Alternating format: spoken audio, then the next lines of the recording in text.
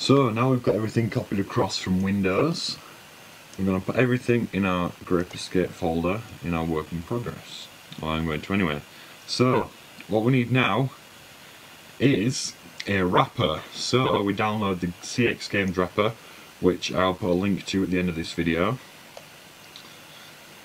All this stuff on here and more can be found on my website, which I'll also put a link to at the end. So, and we also need reg edit zip. I've got these in separate hard drives, so whenever they need to come onto the hard drive I'm working on it, copy it rather than just stealing the original one. So that anything goes wrong, I can revert right back to the original. So, back to where we were. That should have copied across by now, even though it hasn't done. We're going to open up our games wrapper. The best thing I can say is when you're doing this,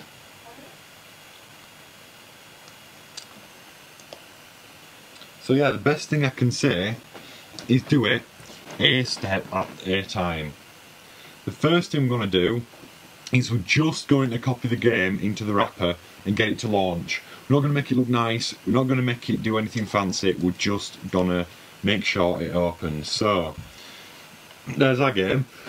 Excuse me. So, open it with show package contents, follow the red brick road until we get to program files. So I'm going to copy the Great Escape Across. Helps if that's on the same hard drive, so it's just bang, bang, bang, and it's done.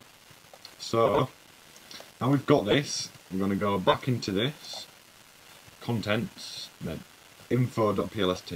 So, now, I've opened this with Property List Editor, which is on the developer DVD on your Mac install thing. So, that's the best thing to do it with, excuse me Twitter.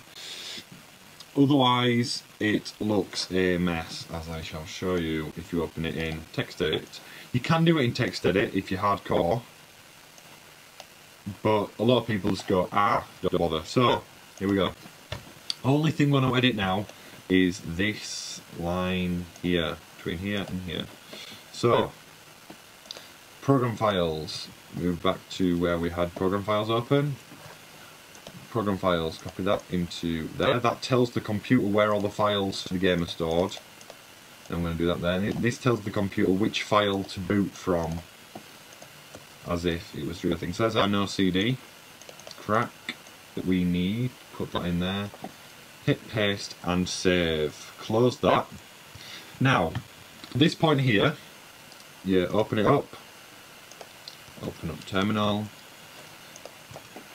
Then drag our friend from MacOS into that and hit enter. I'm not going to because I'm doing this tutorial, I know it works. If it doesn't work, usually it means that the game isn't crossoverable. If it if it doesn't, if it does work, then that's good. If it works, close it, quit it, and then make a copy of that, compress, compress it as that, and then go on to the next stages of the tutorial.